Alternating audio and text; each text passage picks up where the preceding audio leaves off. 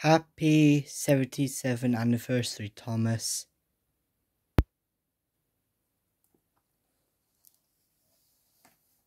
Memorable stories that will go on to years to come.